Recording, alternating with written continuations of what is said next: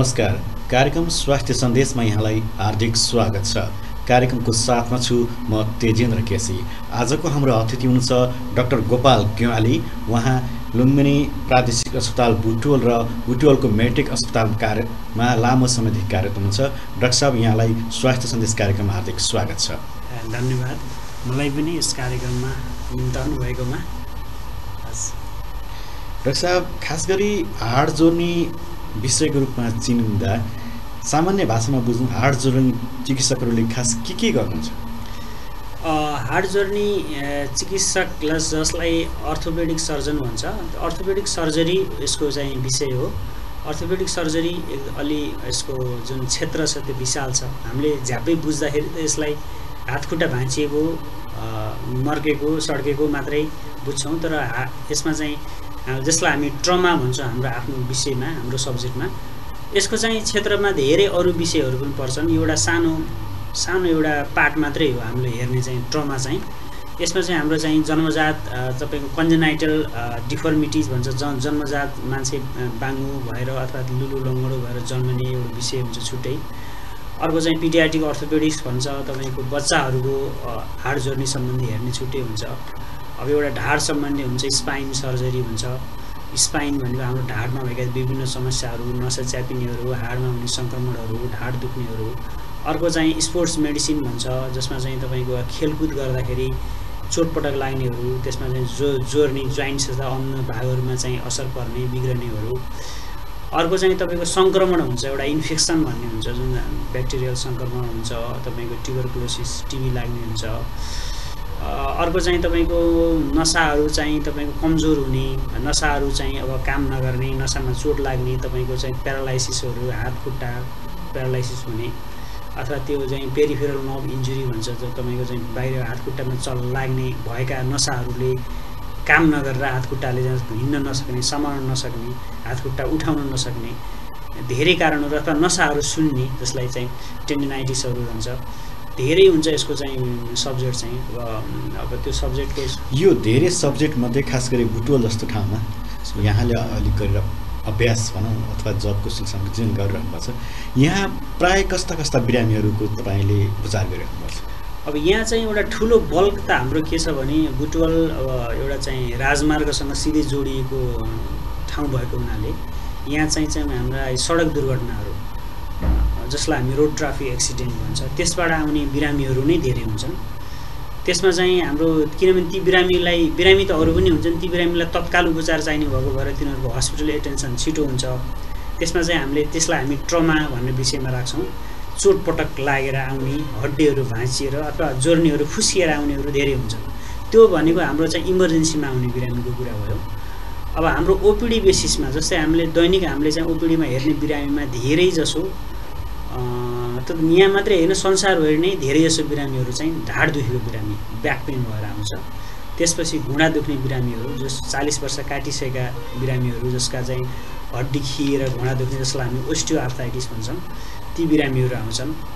र अलिक दुर्गम क्षेत्रबाट अलिकति अब अलिकति लो सोसियो इकोनोमिक स्ट्याटस भन्छ अलिकति अब खान राम्रोसँग अथवा तिनीहरूको चाहिँ आर्थिक अवस्था अलिकति कमजोर भएको से सेक्टरबाट जस्तै हामीलाई चाहिँ जब प्युठान रुकुम रोल्पा अलिक रिमोट एरियाबाट आउने जसलाई जसलाई हामी नेग्लेक्टेड भन्छ। हामीले चाहिँ चोटपटक लगाइसके तर उनीहरूले त्यो समयमा चाहिँ उपचार गर्न पाएनन्। जस्तै लुम्बिनी प्राविधिक अवस्थामा त्यस्तो बिरामीहरू धेरै पाउँछन् जसलाई बिचराहरू भाडा पनि छैन अस्पतालमा आउने अब त्यसमा चाहिँ केही दिन रहेर अनि पछि चाहिँ त्यहाँको मेडिकलमा देखाएर यो त बुटोल जानुपर्छ भनेर चाहिँ नेग्लेक्टेड ट्रमा भन्छ चोट लागिसक्यो हड्डी बाङ्गियो बाङ्गिएर जुड्यो अथवा जोर्नीमा चोट लाग्यो जोर्नी चलेन त्यस्तो बिरामीहरू आउँछन्। अब कुनै कुनै चाहिँ जोर्नीभित्र चाहिँ सङ्क्रमण इन्फेक्सन भयो जोर्नीभित्र पाक्यो पिप बन्यो त्यसपछि पिप चाहिँ लिएर आउनेहरू पनि हुन्छन् धेरै जसो खास गरी यो हजुरहरूले गर्ने प्लास्टर हात खुट्टा भाँचिएका केसहरू प्रायः यहाँ हेर्ने चलन पनि बढी छ र हात खुट्टा फ्र्याक्चर भइसकेपछि खास गरी बिरामीले ध्यान दिनुपर्ने कुराहरू मूलत के के हुन्छ? हजुर हजुर। अब प्लास्टर पनि एउटा चाहिँ उपचार पद्धति हो जसरी हामीले हात खुट्टा फ्र्याक्चर हुँदाखेरि चाहिँ प्लास्टर लगाउँछौँ। प्लास्टर चाहिँ ज नसरेको जस्तै हामीले चाहिँ बच्चाहरूमा धेरै जसो बच्चाहरूको हात खुट्टाको भाँचियो भने धेरै जसो प्लास्टरबाटै निको हुन्छ।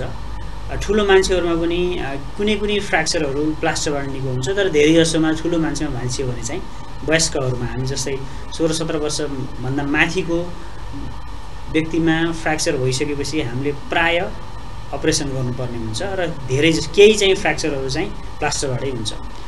प्लास्टरमा अब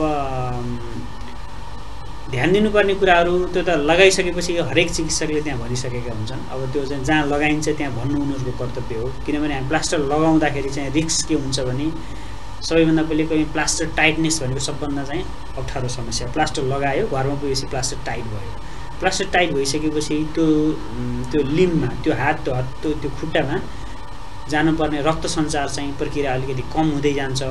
कम भइसकेपछि त्यसले पाउने अक्सिजन कम भइसकेपछि कहिलेकाहीँ कहिलेकाहीँ हामी के भन्छौँ भने प्लास्टरमा टाइट भइसकेपछि कम्पार्टमेन्ट सिन्ड्रोम भन्छ। कहिलेकाहीँ चाहिँ रक्त सञ्चार पुरै बन्द भएर त्यहाँभित्र टाइट भएर त्यसपछि त्यो हात खुट्टा मरेको पनि हामीले भेटाएका छौँ यहाँ चाहिँ। सामान्य फ्र्याक्चर छ त्यसलाई केही नगरे पनि निको हुन्थ्यो अथवा सामान्य एउटा के अरे ब्यान्डेज लगाइदिए पनि निको हुन्थ्यो। त्यसलाई जबरजस्ती कडा प्लास्टर लगाएर अथवा उनीको मेडिकलमा अथवा कतै अब केही गर्नु नपर्ने फ्र्याक्चर चाहिँ एकैचोटि औँलाहरू कालो भएर आएका केसहरू पनि छन्। सबैभन्दा डेन्जर कुरा के हो भने प्लास्टर लगाइसकेपछि बिरामीलाई दुख्नु हुँदैन। यदि दुख्यो भने त एकदमै रिक्स छैन। प्लास्टर लगाइसकेपछि दुख्यो भने त्यसमा भएको अक्सिजन त्यहाँको नसाहरू मरिरहेका छन्। यसरी हात चलाउँदाखेरि हात चलाउँदा हात औँला सिधा गर्दाखेरि एकदमै दुख्यो। सिटामल गुर्फिन खाँदा पनि दुख्यो भने त्यहाँ समथिङ इज रङ भनेर तुरुन्तै चिकित्सकलाई भेट्नुपर्छ। भेट्न सकिएन भने प्लास्टर निकालेर घरमै खोल्दै पनि फरक पर्दैन। त्यसको उपचार पछि गर्न पनि मिल्छ। त्यो प्लास्टर तिन दिनपछि लाए पनि हुन्छ। बाङ्गी सिधा गर्न मिल्छ। होइन? तर जुटेर बाङ्गिएर जुट्यो भने फेरि फोरेर सिधा गर्न पनि मिल्छ। तर प्लास्टर टाइट भयो भने त्यो त्यति लिएर घरमा बस्नु हुँदैन। सके अस्पताल जानु नसके त्यहीँ हँसिया आएर जे पाउँछ त्यो प्लास्टर दुखेको प्लास्टर खोलेर गर्नु थाल्यो किनभने त्यो चाहिँ त्यसको किनभने त्यसको एउटा सर्टेन टाइम हुन्छ त्यो टाइमभन्दा बढी गइसकेपछि त्यो चिकित्सकमा पुगेपछि पनि चिकित्सकले त्यसको उपचार गर्न सक्दैन। भनेको शरीरको भाग नै काट्नुपर्ने पनि हुन्छ। काट्नुपर्ने हुन्छ। यो अघि पनि यहाँले कुरा गर्नुभयो खास गरी यो ढाडको समस्या संसारभरि नै बढी ढाड दुख्ने समस्यामा छ। यो हामी पनि सामान्यतः बुटोल अथवा यस आसपास पनि अत्याधिक ढाड दुख्यो भने पुरुषहरू र महिलाहरू पनि देख भेटिन्छ। यसको कज चाहिँ के हो खास? ढाड दुख्ने कज त कस्तो छ भने ढाड दुख्ने चाहिँ वास्तवमा हामी मानवहरू दुई खुट्टे छौँ। हामी चाहिँ दुई खुट्टे मानवले वास्तवमा चुकाएको तिरेको चाहिँ इन्ट्रेस्ट हो भन्छ ढाड दुख्ने भनेको। हामी दुई खुट्टाले हिँड्छौँ नि। दुई खुट्टाले हिँडेको त्यसको चाहिँ ब्याज हामीले ढाड दुखाएर चुकाउँछौँ भन्छ। प्रायः जस्तो ढाड दुख्ने चाहिँ ब्याक पेन चाहिँ जहिले पनि हामी चाहिँ दुई खुट्टे प्राणीमा मात्रै हुन्छ भनेर भनिन्छ। चार खुट्टेमा ढाड दुख्दैन जस्तै बाघ भए हाम्रा पशुहरू भए तिनीहरूलाई ढाड दुख्दैन। किनभने दुई खुट्टेमा के हुन्छ भने हामी हाम्रो शरीर पुरै सन्तुलनमा हिँडेको हुन्छ। राइट एन्ड लेफ्ट ब्यालेन्समा हिँडेको हुन्छ। त्यो ब्यालेन्स कहीँनिर बिग्रो भने कहीँनिर बिग्रो भने राइटले बडी ब्यालेन्स गर्न छोड्यो अथवा लेफ्टमा बडी ब्यालेन्स गर्नु छोड्यो भने त्यसमा हामी ढाड दुख्छ त्यसलाई हामी चाहिँ मेकानिकल ब्याक पेन भन्छौँ। त्यसमा कुनै कारणहरू भेटिँदैन। हाम्रो हिँड्ने तौर तरिका बसाइ उठाइ हामीले काम गर्ने हामीले पढ्ने तरिका हामीले सबै गर्ने तरिका सबै मिलेन भने ढाड दुख्छ। त्यो त्यसलाई हामी मेकानिकल ब्याक पेन भन्छौँ। त्यो सबैभन्दा बढी जस्तै नाइन्टी पर्सेन्ट ब्याक पेन हुने कारण फेरि त्यही हो। त्यसको कुनै कारण चाहिँ खासै भेटिँदैन। हाम्रो तौर तरिकामा नमिलेर हुन्छ। र अन्य दस पर्सेन्ट ढाड दुखाइ चाहिँ रोगले पनि हुन्छ। ढाड त्यो त्यो मात्रै हुँदैन। ढाड दुख्ने कारण चाहिँ धेरै जस्तो त्यही नै हो। लगभग भनिन्छ नाइन्टी नाइन पर्सेन्ट व्यक्तिलाई जीवनमा एक एकचोटि न एकचोटि ढाड दुख्छ। अहिलेसम्म लगभग कुनै पनि व्यक्ति छैन होला जसले जीवनमै एकचोटि पनि ढाड दुखेन भन्ने चाहिँ जीवनमा हुँदैन। त्यो हुन्छ भने कसैलाई चाहिँ बढी हुन्छ कसैलाई एक दिन दुख्छ। र कसैको चाहिँ धेरै जसो ढाड दुख्ने रोग चाहिँ हामीले उसको पेसासँग सम्बन्धित छ। जस्तै जस्तै कम्प्युटरमा काम गरिराख्ने झुकेर काम गर्नुपर्ने घरमा गिरिनीहरू झुकेर चाहिँ भाँडा माझ्ने कपडा धुने पोछा लाउने होइन? अथवा चाहिँ तपाईँको पसलमा काम गर्नेहरू तपाईँको कार्टुनहरू गोरुको कार्टुनहरू उठाउने। त्यो खुसका कारण रोग चाहिँ होइन। त्यो त्यो सबै कुरा गर्दा गर्दा गर्दा के भने असन्तुलित व्यायाम भयो। व्यायाम चाहिँ असन्तुलित हुन्छ। उसले चाहिँ काम पनि एउटा एक प्रकारको व्यायाम हो। व्यायाम र काममा के फरक छ भने व्यायाम भनेको सन्तुलित सन्तुलित हुन्छ। जति अगाडि झुकिन्छ त्यति पछाडि गइन्छ। र काम भनेको जहिले पनि असन्तुलित हुन्छ। एकातिर मात्रै मकै खन्नेले अगाडि मात्रै झुक्छ। होइन? कपडा धुने अगाडि मात्रै झुक्छ। अगाडि मात्रै भयो पछाडि भएन।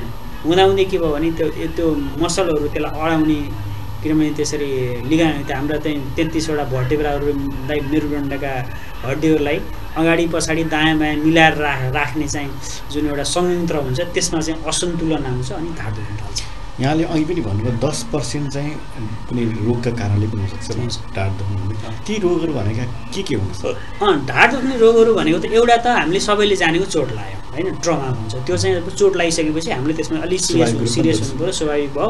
त्यसमा एक्सरे गराउनुपर्छ त्यसलाई त्यही अनुसार उपचार भयो।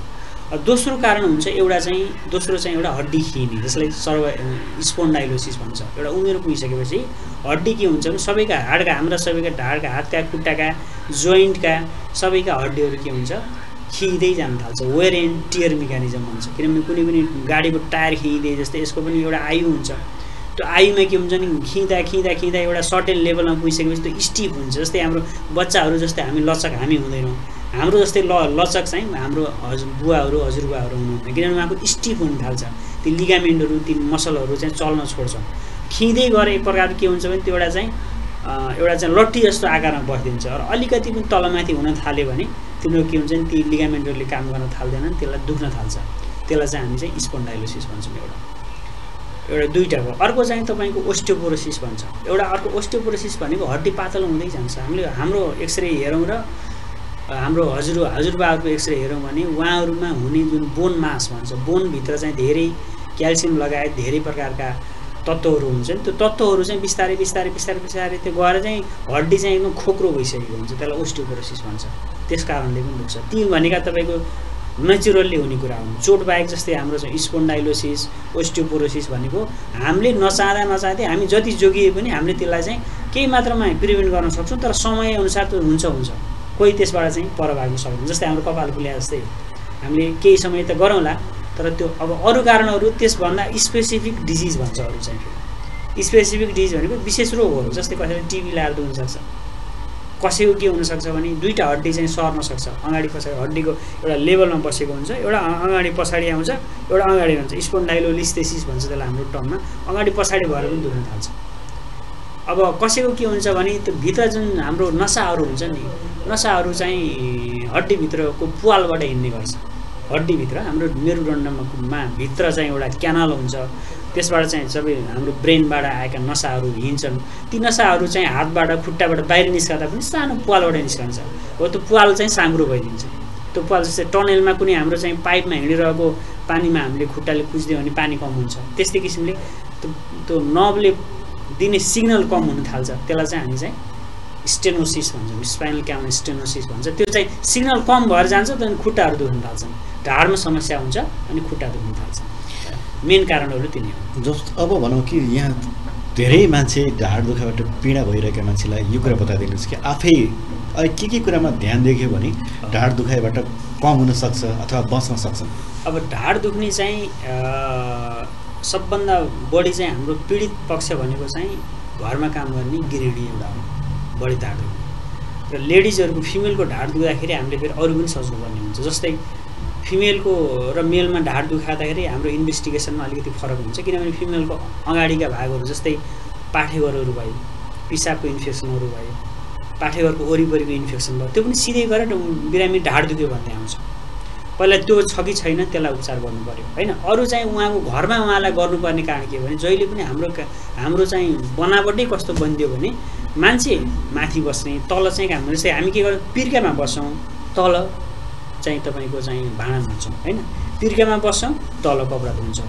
त्यो जति झुक्छौँ नि त्यति जति झुक्दाखेरि ढाड दुख्ने समस्या चाहिँ बढ्छ। अब अहिले अहिले त स्मार्ट किचनहरू आएका छन्। हामी उभिएरै धारामा चाहिँ जसरी चाहिँ हामीले कपडा भाँडा माग्न सक्छौँ भाँडा माग्न बस्नु पर्दैन नि अहिले। त्यस्तै किसिमले कपडा धुने पनि त्यस्तै किसिमले सेटअप गर्नु पऱ्यो अर्को कुरा चाहिँ दैनिक व्यायाम गर्नु पऱ्यो व्यायाम भनेको सन्तुलित एक्सर्साइज गर्नु पऱ्यो व्यायामहरू सामान्य प्रकारका हुन्छन्। हामीले युट्युबमा हेर्न पनि सकिन्छ योगाहरू पनि हुन्छन्।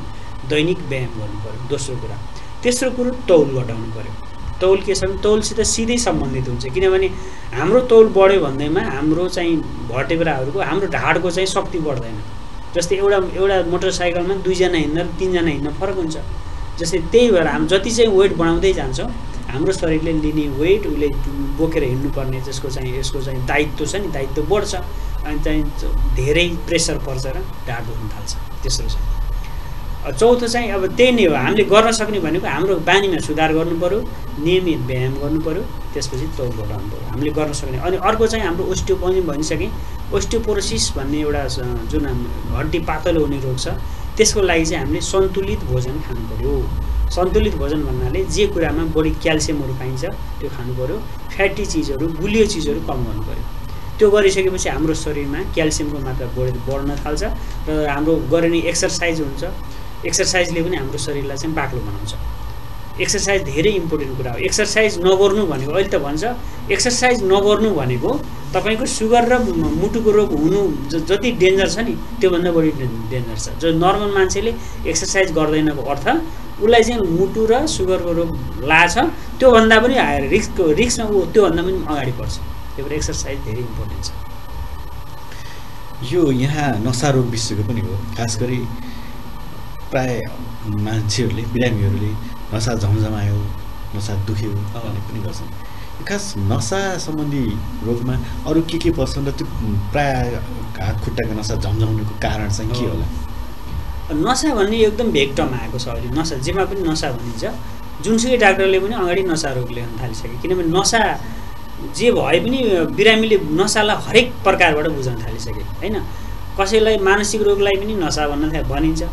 अर्थोपेडिक्समा नसा झन्माउँछ नसा भनिन्छ। कहिलेकाहीँ नसाहरू चाहिँ यो जुन रक्तनलीहरू फुलेर बाहिर देखिन्छन् जसलाई हामी भेरिकोज भेन भन्छन् जसलाई जनरल सर्जनले हेर्छ त्यसलाई पनि नसा भन्छ। कहिलेकाहीँ हाइड्रोसिल भन्छ ल यो अन्न अन्डकोषहरू चाहिँ सुनिन्छ त्यसलाई पनि नसा भन्ने आएका हुन्छन्। कसैले चाहिँ रक्सी चुरोट ड्रग्सहरू खान्छ त्यसलाई पनि नसा भन्छ। नसा भन्ने वास्तवमा एउटा स्पेसल टर्म मेडिसिनमा छैन त्यो बनाइएको टर्म नसा भन्ने बनाइएको धेरै नसा भनिन्छ। तर नसाको अर्थ चाहिँ शाब्दिक अर्थमा हेर्ने भने नसा भन्नाले नर्भ भन्ने बुझिन्छ। नर्भ भनेको न्युरोन न्युरोन भनेको तपाईँको हाम्रो शरीरका सिग्नलहरू हुन्छन् जस्तै हाम्रो शरीरमा के हुन्छ? एउटा चाहिँ रग रक्त रगत चाहिँ लिएर हिँड्ने एउटा रगतको पाइप हुन्छ त्यसलाई रक्तनली भनिन्छ एउटा चाहिँ दिमागबाट दिएको एउटा चाहिँ ब्रेनका सिग्नलहरू दिमागले पनि सिग्नल दिनु पऱ्यो हातखुट्टा चल्नको लागि सिग्नल दिनु पऱ्यो चिसो सास तातो थाहा पाउन सिग्नल दिनु पऱ्यो काम गर्न सिग्नल दिनु पऱ्यो हो त्यसलाई चाहिँ हामी के गरिन्छ? नर्भ भनिन्छ। वास्तवमा नसा भनेको त्यो नर्भ हो। तर हुँदाहुँदै मासुलाई पनि नसा टेन्डनलाई पनि नसा होइन? सबै रक्तनलीलाई पनि नसा दिमागको नसालाई पनि दिमागी रोगलाई पनि। सिधै मान्छेलाई तपाईँलाई दिमागको रोग लाग्छ तपाईँलाई त मानसिक रोग हो भन्दाखेरि मान्छेलाई चाहिँ के भयो भने एक प्रकारको चाहिँ त्यो ग्लानी फिल। हुने सोसाइटीमा चाहिँ अर्कै फिलिङ आयो त्यसलाई त नसाको समस्या छ अरे भन्छ। त्यो नसा चाहिँ होइन। त्यो नसा फेरि छुट्टै नसा हो। हामीले हेर्ने प्योर नसा भनेको शरीरले दिने ब्रेनले सिग्नल दिने नसाहरू जान्छ। त्यसलाई चाहिँ झमझमाउँछ त्यो त्यो नसा झमझमाउने चाहिँ बिरामीले भन्न थाल्छ। नसा झमझमाउने कारण पनि के हुन्छ भने एउटा चाहिँ मानसिक कारण पनि हुन्छ जसमा कुनै कारण भेटिन्न। सा मानसिक कारण भयो भने हामीले पनि रिफर गर्नुपर्छ। अब मानसिक कारणमा तपाईँको डिप्रेसन भयो भने नसाहरू झमझमाउँछ अनेक कारणहरू हुन्छन् मानसिक रोगमा अब अर्को चाहिँ शारीरिक कारण हुन्छ। शारीरिक कारणमा धेरै जसो चाहिँ नसा च्यापिन थाल्छ। कुनै नसा त हाम्रो बाटो लामो बाटो हिँडेको हुन्छ। कुनै पनि ठाउँमा। उसको निस्कने रुटमा उसले हिँड्ने बाटोमा डाइनामिक कम्प्रेसन स्ट्याटिक कम्प्रेसन हुन्छ कुनै पनि ठाउँमा चाहिँ नसा च्यापियो भने त्यो त्योभन्दा तल चाहिँ सिग्नल दिन पाउँदैन। पुरा सिग्नल पुग्दैन जस्तै हाम्रो बिजुलीको लाइट जस्तै हो। डिम लाइट भयो भने धिप्प बल्छ नि। त्यो चाहिँ नसाहरू पनि पुरा सिग्नल दिन नपाएपछि पुरा काम गर्न नपाएपछि हामीले चाहिँ काम गर्न नसकेको। अथवा हामीलाई चाहिँ पोलेको झमझम गरेको सिस्नाले पोल्या जस्तो अथवा किरा हिँडा जस्तो अथवा त्यो अर्कै खालको सेन्सेसन बिरामीले फिल गर्छ त्यसलाई चाहिँ नसा झमझमाएको भनिन्छ। अब एउटा कारण चाहिँ नसा चेपिएको हुनसक्छ। अर्को कारण चाहिँ उसलाई चाहिने पूर्ण न्युट्रिसन नसाको चाहिँ न्युराइटिस हुन्छ एउटा चाहिँ जुन धेरै प्रकारका भिटामिनहरूको आवश्यकता पर्छ न्युरो भिटामिनहरू भिटामिन युजली चाहिँ बी कम्प्लेक्समा हुनेछ जस्तै जस्तै तपाईँको थाइमिन भन्ने भिटामिनहरू राइबोफ्लाभिन भन्ने भिटामिनहरू पाइरिडक्सिन भन्ने भिटामिनहरू मिथाइल कोबालामिन भन्ने भिटामिनहरू ती भिटामिनहरूको कमी भइदियो भने पनि त्यसले चाहिँ आफ्नो पूर्ण काम गर्न सक्दैन। त्यति बेला पनि बिरामीले झम्झमायो भने अ, सङ्केत दिन्छ। यो केही मान्छेहरूले खास गरी हड्डी पाक्यो जोर्नी पाक्यो भन्ने पनि बुझिन्छ। यो उहाँहरूले भन्न खोजेको खास के हो र मेडिकल भाषामा एउटालाई सामान्य मान्छेले बुझ्दा यसभित्र के बुझ्न सकिन्छ? पाक्ने भन्ने कुरा ज जसले पनि हामीले नर्मल्ली पाक्नेलाई हामीले के भन्छौँ भने कुनै पनि पिलो आयो भन्छ गाउँतिर सजिलो भाषामा पिलो आयो पिलो चाहिँ दुइटाको दुई प्रकारको एउटा मासुको पिलो भन्छ एउटा हड्डीको पिलो भन्छ। हामीले सजिलो भाषामा भन्दा मासुको पिलो भनेको एप्सेस हो जुन मासुभित्र हुने एप्सेस जसलाई हामी नर्मल्ली इन्फेक्सन भयो ब्याक्टेरियल इन्फेक्सन भएर ब्याक्टेरियल इन्फेक्सन भइसकेपछि शरीरले त्यसलाई लड्नको निम्ति एक प्रकारको त्यो बिचमा चाहिँ त्यो शरीर र ब्याक्टेरिया बिच फाइट हुँदाखेरि एउटा एक प्रकारको त्यहाँ भित्र चाहिँ एउटा चाहिँ फाल्नुपर्ने वेस्ट पदार्थ बन्छ त्यसलाई चाहिँ पस भनिन्छ। पस भनेको पिप। त्यो पिप वास्तवमा चाहिँ त्यति जस्तै कसैको पनि प्रतिरक्षा प्रणाली नभएको मान्छेमा पिपै भन्दैन। पिप बन्नुको अर्थ के भने शरीर र ब्याक्टेरिया बिच त्यहाँ फाइट भइरहेछ। हो त्यो पिप चाहिँ के हुन्छ भने मासुमा मात्रै बन्यो त्यसले हड्डी छोएन भने मासुको पिलो भयो। कहिलेकाहीँ त्यो पिप सबभन्दा डेन्जर कुरा त्यो पिप बन्न सुरुवातै तपाईँको हड्डीभित्र हुन्छ। जसलाई हाम्रो हाम्रो भाषामा ओस्टियोमाइलाइटिस भन्छौँ। जसरी मासुमा पिप बन्छ त्यसरी नै हड्डीमा पिप बन्न सुरु हुन्छ। त्यो भनेको एकदमै अब हड्डीमा पाक्ने भनेको चाहिँ कम्पेरिटिभली अलिकति नराम्रो कुरा हो। किनभने मासुको पिप चाहिँ हामीले निकालिसकेपछि पूर्ण रूपमै निको हुन्छ त्यो। त्यो आउँदैन पछि पनि आउँदैन। हड्डीको पिप चाहिँ के समयमा उपचार भएन भने केही समयमै उपचार भएन तुरुन्तै त्यसलाई चाहिँ हामीले चाहिँ इन्टरभ्युन गर्न सकिएन भने त्यो पिप चाहिँ कहिलेकाहीँ आजीवन रहन सक्छ। कहिलेकाहीँ पिप आउने फेरि पाक्ने अनि फेरि फेरि थाक्ने पाक्ने औषधि खाँदा कम हुने फेरि पाक्ने भएर कहिलेकाहीँ आजीवन मान्छेको शरीरबाट पिप आइराख्ने हुन्छ एकचोटि हड्डीमा पिप पाकिसकेपछि ब्याक्टेरिया पूर्ण रूपमा निर्मूल हुन चाहिँ कम गर्छ। हामी कार्यक्रमको अन्त्यतिर आइपुगेका छौँ डाक्टर कार्यक्रमको अन्त्यमा के भन्नु छ? अब अर्थोपेडिक सर्जरीमा भन्नुपर्ने कुराहरू धेरै हुन्छन्। यसको यति छोटो समयमा सबै कुराहरू भन्न सकिन्न। मैले बरु अहिले चाहिँ इन्फर्मेसन के दिएँ भने बरु यो सबैभन्दा इम्पोर्टेन्ट कुराहरू बच्चामा लास्टमा हामीले जुन कुरा गऱ्यौँ पाक्ने कुरा गऱ्यौँ यो धेरै जसो बच्चाहरूमा हुन्छ। कृपया बच्चाहरूको हात खुट्टामा पिलो आएको स- शङ्का गर्नु हो जोर्नीको नजिक चाहिँ पिलो छ भन्ने सबैलाई लायो पाक्न लागेको भने तत्काल मेडिकलमा औषधि खान छोडेर चिकित्सकलाई हाड जोर्नीकै चिकित्सकलाई सम्पर्क गराउनु होला किनभने यदि त्यो ओस्टोमाइलाइटिस रहेछ अथवा हड्डी नै पाकेको रहेछ भने यदि समय बढी गरेर उपचार हुन पाएन भने त्यो चाहिँ पछि क्रोनिक रूप लिएर बच्चा अपाङ्गसम्म हुनसक्छ त्यो चाहिँ एउटा इन्फर्मेसन मैले दिएँ। हस् धेरै धेरै धन्यवाद। डाक्टर गोपाल गेवाली हाडजनी विषयको रूपमा लुम्बिनी प्रादेशिक अस्पताल बुटोलमा कार्यरत हुनुहुन्छ। यस्तै उहाँ मेटेक अस्पताल बुटोलमा पनि कार्यरत हुनुहुन्छ। उहाँसँगै आजको कार्यक्रमबाट म तेजेन्द्र केसी पनि आज्ञा माग्छु। नमस्कार।